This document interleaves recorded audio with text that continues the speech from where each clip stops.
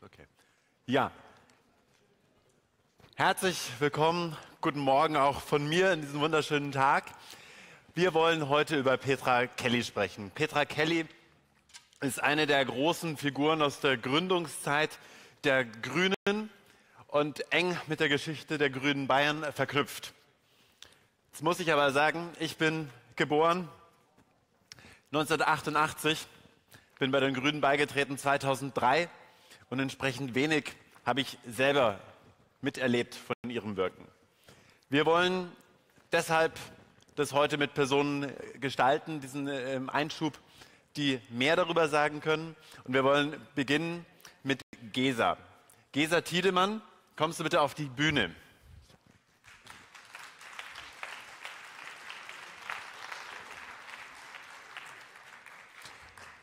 Gesa Tiedemann hat seit, fast seit Gründung der Petra Kelly Stiftung in Bayern diese als Geschäftsführerin geleitet, geführt, entwickelt, zu dem gemacht, was sie heute ist. Und ähm, du wirst noch bis Ende des Jahres Geschäftsführerin sein, hast also ein Vierteljahrhundert Geschichte der Petra Kelly Stiftung geprägt. Und deswegen würde ich gerne noch ein paar Fragen an dich stellen, aber erstmal ein großer Willkommensapplaus und ein Applaus für diese Leistung.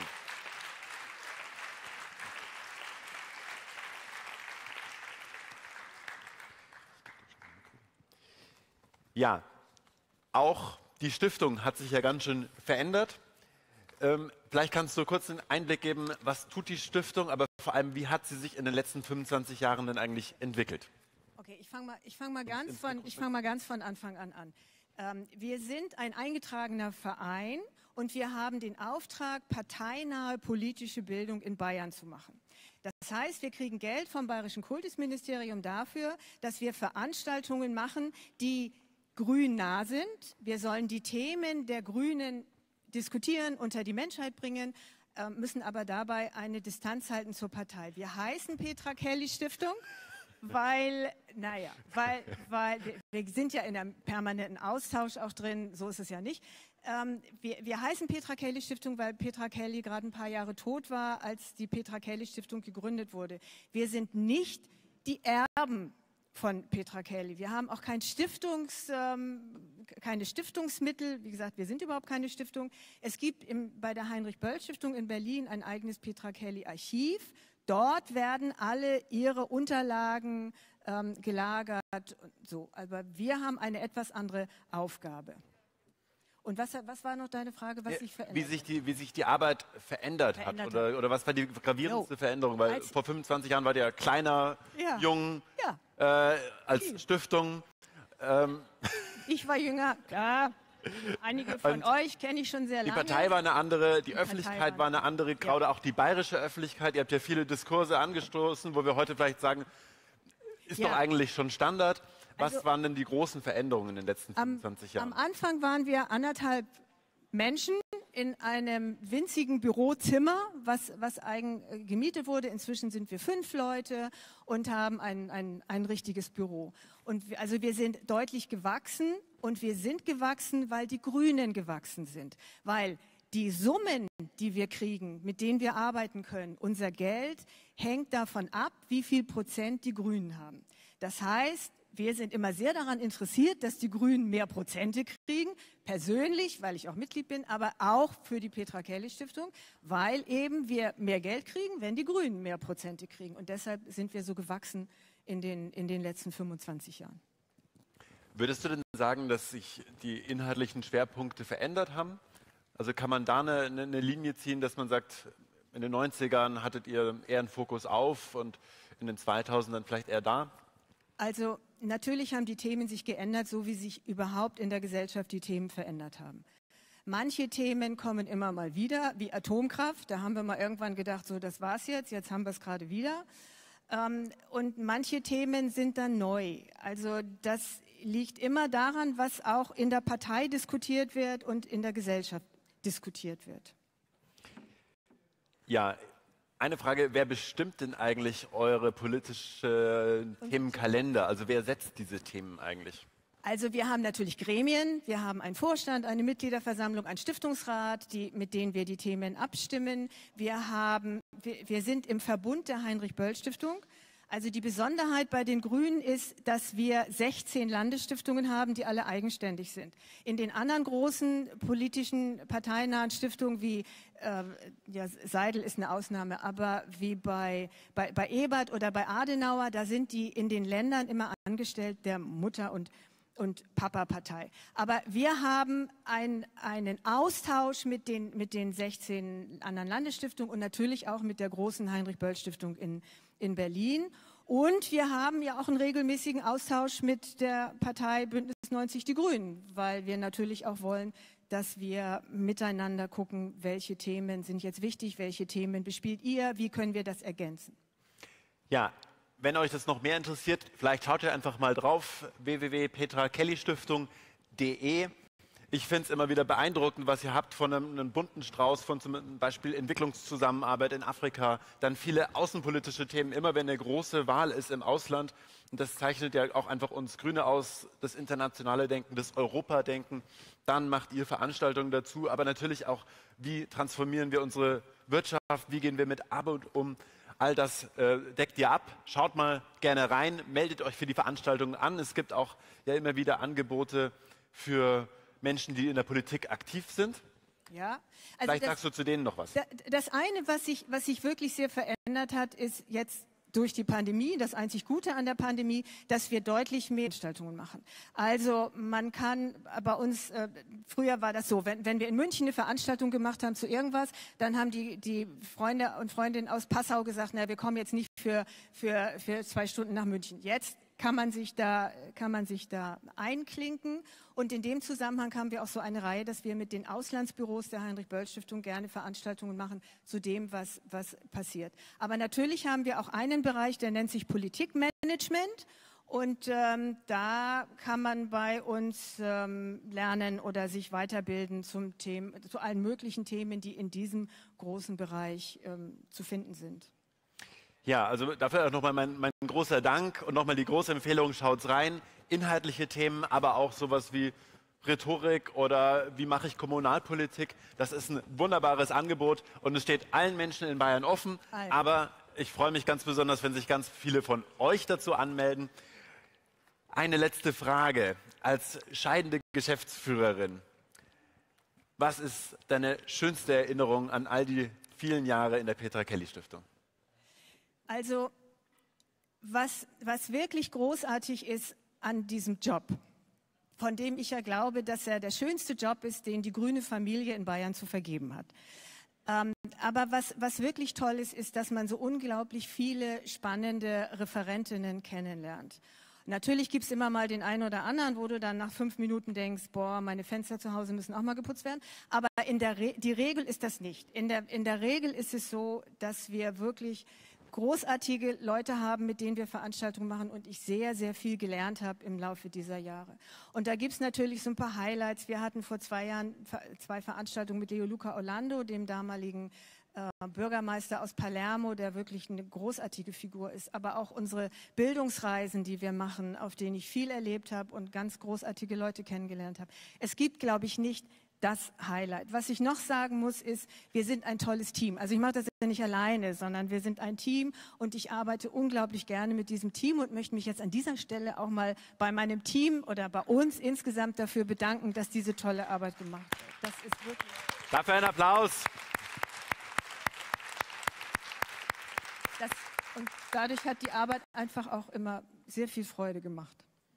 Ja, wir als Grüne Bayern bedanken uns für 25 Jahre sehr, sehr gute Zusammenarbeit.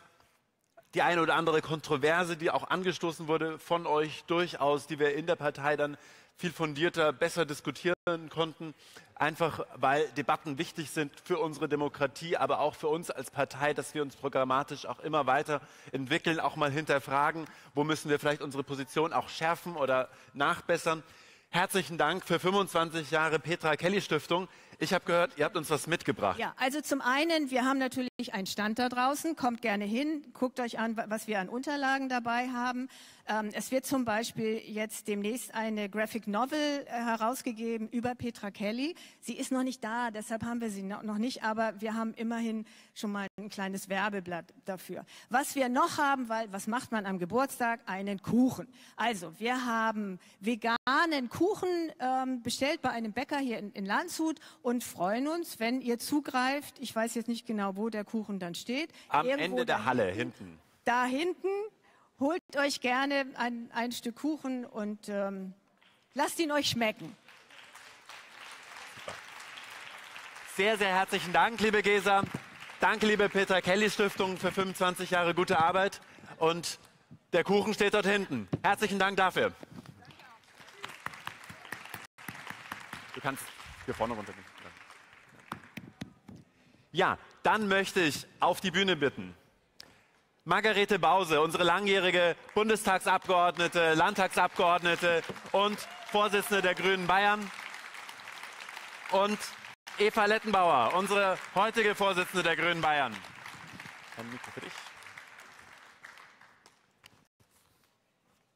Denn wir feiern nicht nur 25 Jahre Petra Kelly Stiftung, es jähren sich in diesem Jahr, wir haben eigentlich sogar drei ja, Jahrestage. Es ist der 30. Todestag von Petra Kelly und es ist ihr 75. Geburtstag.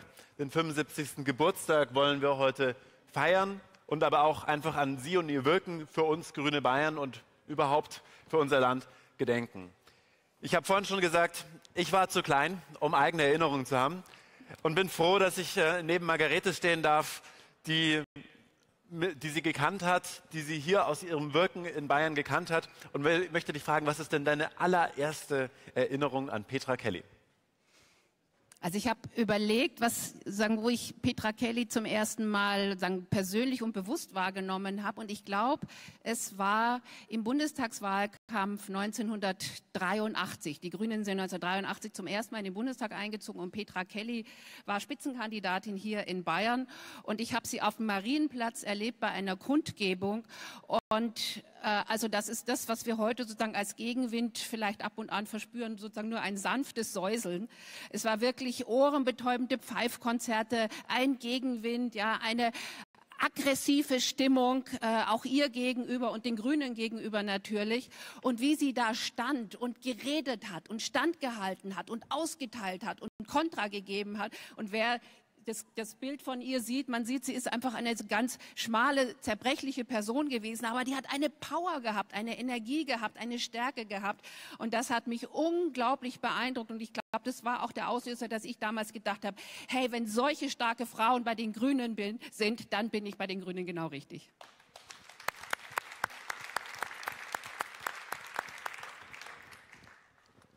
Wenn du uns vielleicht nochmal, wir haben ja gestern mal die Hand gehoben, wir können es auch nochmal machen.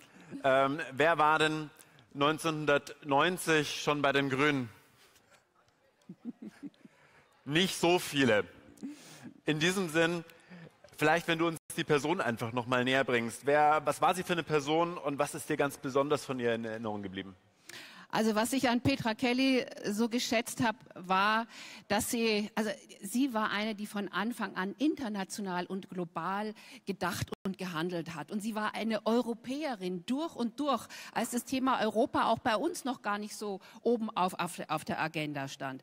Und sie war natürlich eine Visionärin, äh, sie war eine Aktivistin, sie war international ver vernetzt, sie war leidenschaftlich, das war der Wahnsinn und sie hat ja im Grunde mit ihren eigenen Kräften überhaupt nicht hausgehalten. Also ähm, äh, jemand hat mal über sie gesagt, sie war wie eine Kerze, die von beiden Seiten brennt.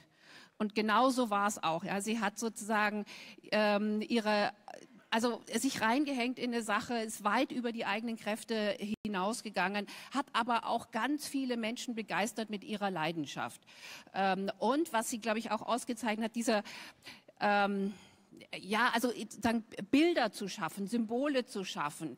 Ja, also dass sie zum Beispiel auf dem Roten Platz in Moskau demonstriert hat, dass sie in Ostberlin äh, demonstriert hat, als viele bei den Grünen, die sich sozusagen aus den, die aus den K-Gruppen kamen, ich, ich sag mal eher die, die Atomraketen der Vereinigten Staaten kritisiert haben und die sowjetischen irgendwie so ein bisschen unterschlagen haben. Also sie war nie einäugig äh, in ihrem Aktionismus, in ihrem Aktivismus, in ihrer politischen Wahrnehmungen. Das fand ich, hat sie ausgezeichnet, dass sie wirklich immer auf beide Seiten geschaut hat, dass sie sich hat nicht vereinnahmen lassen hat für irgendwelche Interessen, sondern dass sie ein eigenständiger, eigener Kopf war, dass sie auch stur war. Und ich glaube, das musste man auch sein und das muss man heute auch sein.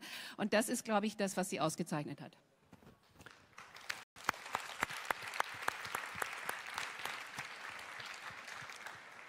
Gibt es eine ganz besondere Episode mit ihr, die du gerne teilen möchtest mit uns? Ja, es gibt tatsächlich eine Episode, die aber jetzt nicht nur auf einer persönlichen Begegnung mit ihr beruht, sondern ähm, eigentlich erst einige Jahre danach. Ich war ähm, mit der Delegationsreise äh, im Baskenland in Guernica und manche kennen das Bild von Picasso Guernica, aber es bezieht sich natürlich auf einen äh, Bombenangriff auf diese Stadt im Jahr 1937, wo äh, die deutsche Legion Condor, also Hitler-Deutschland, zur Unterstützung von, äh, des Franco-Regimes einen Luftangriff geflogen hat und Hunderte oder Tausende Menschen Opfer wurden dieses Luftangriffs in Guernica. Und in Guernica gibt es heute ein Friedensmuseum und ich habe mir dieses Friedensmuseum angeguckt und ich dachte, Wahnsinn, war ein Foto, ein kleines Foto und da war Petra Kelly drauf und Gerd Bastian mit Vertreterinnen und Vertretern der spanischen Friedensbewegung. Und dieses Foto war von 1987 und sie war die erste Deutsche, die in Guernica sich zur deutschen Schuld bekannt hat und um Verzeihung gebeten hat für diesen Angriffskrieg, für diesen Angriff. Erst zehn Jahre später hat der, ähm, der, der äh, hat Roman Herzog sozusagen sich in Deutschlands Namen dafür entschuldigt. Und Petra Kelly hat schon zehn Jahre davor deutlich gemacht, welche Verantwortung und welche Schuld Hitler Deutschland für dieses Massaker dort trägt, für diesen Luftangriff trägt. Und dann habe ich gemerkt, Petra Kelly war immer ihrer Zeit voraus und ich war total stolz in dieser Delegation, die auch aus Mitgliedern anderer Parteien waren, Fraktionen war, dass sozusagen ich bei den Grünen bin und dass ich sozusagen in der Tradition von Petra Kelly mich auch fühlen darf.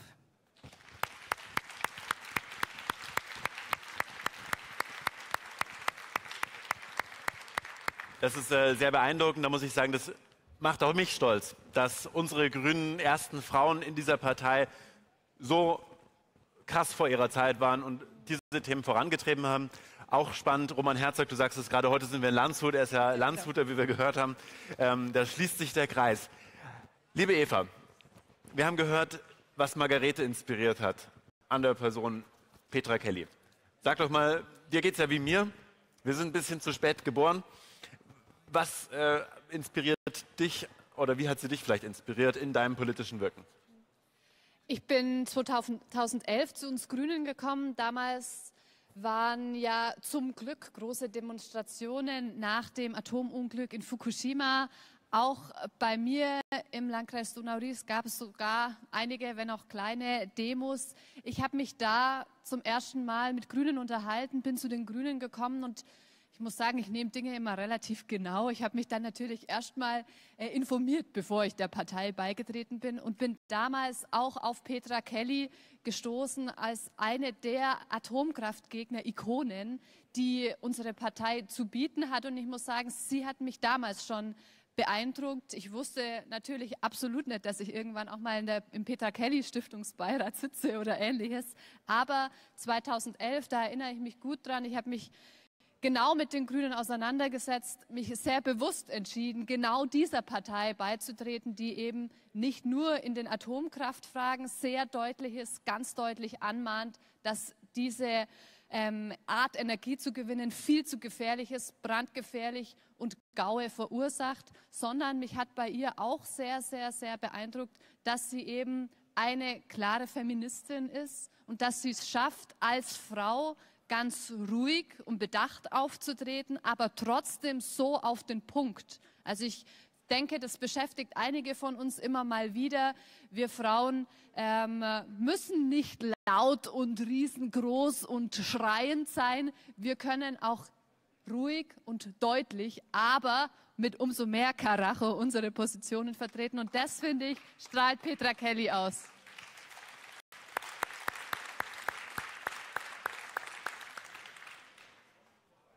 Stichwort, du hast es gerade gesagt, du bist ja auch äh, Mitglied der Mitgliederversammlung der Petra Kelly Stiftung. Was ist denn dein Blick auf die Stiftung? Was zeichnet die aus? Ich bin regelmäßig beeindruckt, wie vielfältig das Programm ist, das die Petra Kelly Stiftung heute inzwischen auf die Beine stellt. Wir diskutieren eben regelmäßig in der Mitgliederversammlung der Petra Kelly Stiftung, was die Themen sind, die gerade dringend diskutiert werden müssen. Und ähm, die Petra Kelly Stiftung hat da wirklich ein ganz breites Potpourri. Du hast vorhin ja auch einiges schon angesprochen. Ich finde, ähm, die Blicke auf die Menschenrechtslage in der ganzen Welt, die unsere bayerische Stiftung hier wirft, die sind wirklich exzellent. Es gibt ganz, ganz viele hochgradig besetzte Podien, Diskussionen, in denen die Menschenrechtslage in der ganzen Welt beleuchtet wird. Viele kennen es vielleicht, wenn ihr es noch nicht kennt, dann äh, könnt ihr euch merken, einmal im Jahr zur Sicherheitskonferenz in München findet auch eine unglaublich wichtige alternative Konferenz statt, die nochmal ganz andere Blicke auf Sicherheit wirft, die feministische Außenpolitik auch schon weit äh, vor den aktuellen Debatten immer in den Mittelpunkt gerückt hat. 2014, 15 waren auch da feministische Außenpolitik und anderes schon Thema und nicht zu vergessen wird aber immer auch an den ökologischen Fragen gearbeitet. Also wir haben uns schon sehr, sehr intensiv mit Klimaschutz, mit vielen weiteren Fragen auseinandergesetzt. Und du hast es auch angesprochen, aber ich möchte es betonen, für jede und jeden hier im Raum ist immer auch Handwerkszeug dabei, um in der Gremienarbeit, in der Kommunalpolitik sich weiter fit zu machen. All die Politikmanagement-Seminare, die sind mir wichtig und sind auch allen Mitgliedern der Petra Kelly Stiftungs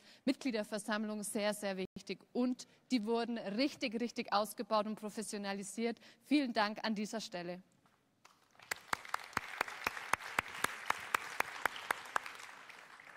Ich habe gerade aufgemerkt, als du gesagt hast, Atomkraftgegnerinnen-Ikone. Ich habe auf meinem Zettel nämlich Friedensikone draufstehen. Und deswegen jetzt nochmal zur Deutung von Petra Kelly nochmal zurück. Friedensikone, Atomkraftgegnerin, Ikone, Frauenrechtlerin. Was war sie denn für dich am meisten? Also tatsächlich war sie für mich am meisten zum einen äh, Feministin und zum anderen aber Menschenrechtsaktivistin. Also Petra Kelly hat das Thema Menschenrechtsverletzungen in China, das ich ja in äh, den letzten äh, Jahren sehr intensiv bearbeitet hat, als erste im Deutschen Bundestag in den 80er Jahren angesprochen. Sie hat das Thema Tibet, die Unterdrückung der Tibeterinnen und Tibeter im Bundestag angesprochen, den Dalai Lama eingeladen, als allererste. So, sie hat die Unterdrückung äh, der, der Indigenen angesprochen. Sie hat die Opfer des Uranabbaus in Australien äh, besucht. Ja, also all diese Themen, die wirklich genuine Menschenrechtsthemen sind, die hat Petra Kelly auf die politische Tagesordnung gesetzt, als noch kaum jemand sich darum gekümmert hat. Und deswegen finde, also da, das hat so viel Mut ähm, auch bedeutet, aber hat auch ganz viel Mut gemacht und, und dass sie eben wirklich auf beiden Seiten damals des Eisernen Vorhangs aktiv war und die Aktivistin, Friedensaktivistinnen und Aktivisten ähm, in den osteuropäischen Ländern, in Russland unterstützt hat, genauso wie hier. Das hat mich äh, oder das hat sie für mich ausgemacht. Das ist etwas, wo ich auch das Gefühl habe, dass ich sozusagen auch in ihrer Folge Politik machen durfte.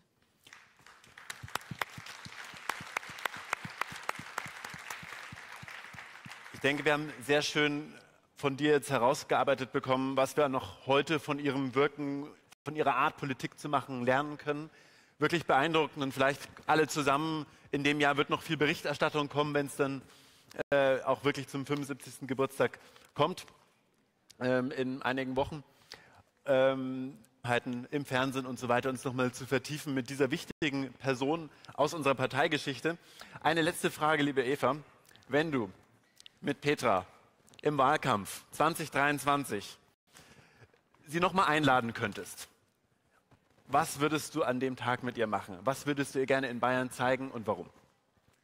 Ja, eine sehr schwierige Frage, muss ich ganz ehrlich sagen. Ich denke, für Petra Kelly war es ja immer ganz, ganz wichtig, eine neue Partei auch zu gründen, die Gleichberechtigung lebt, die ganz klar zeigt, dass Frauen die Hälfte der Macht innerhalb der Partei erhalten sollen. Und deswegen würde ich ihr ganz gern zeigen, dass wir inzwischen nicht mehr nur darüber sprechen, als Partei gleichberechtigt zu leben, das setzen wir spitze um, sondern dass sich hier in Bayern auch schon eine richtig große Bewegung auf den Weg macht, um die Politik im Allgemeinen, nicht nur die eigene Partei, sondern die ganze Politik gleichberechtigt zu machen. Es gibt in unglaublich vielen Landkreisen, zum Beispiel gern auch bei mir in Nordschwaben, Bewegungen und ähm, Verbünde für Politik, ähm, die alle machen sollen. Und deswegen würde ich Sie gern einladen zum Bündnis für Parität in Bayern. Da denke ich, würde Sie sich sehr, sehr freuen zu sehen, dass inzwischen überparteilich Frauen sich zusammenschließen, dass es keine einzelne Partei mehr braucht wie uns, die das nach vorne stellen, sondern dass wir da inzwischen uns unterhaken und dranbleiben, damit Politik eben wirklich von Frauen für Frauen gemacht wird. Da denke ich, würde sie hoffentlich leuchtende Augen bekommen. Sehr schön. Ich würde mir wirklich wünschen, dass wir äh, Sie heute unter uns hätten. Mich würde auch interessieren, wie ein Podium zum Beispiel ausschauen würde mit Toni Hofreiter und Petra Kelly über Waffenlieferungen an die Ukraine, wie wir die Ukraine unterstützen. Das wäre eine spannende Frage für uns. Aber so ist es nicht. Wir werden uns trotzdem von und in jedem Fall von Petra Kelly inspirieren lassen. Und damit heute bei diesem Tagesordnungspunkt nicht ein Mann das letzte Wort hat, übergebe ich das gerne Margarete.